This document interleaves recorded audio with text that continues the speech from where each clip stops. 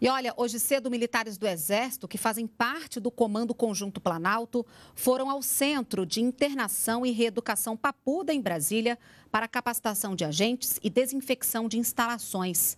É mais uma ação de enfrentamento aí ao novo coronavírus.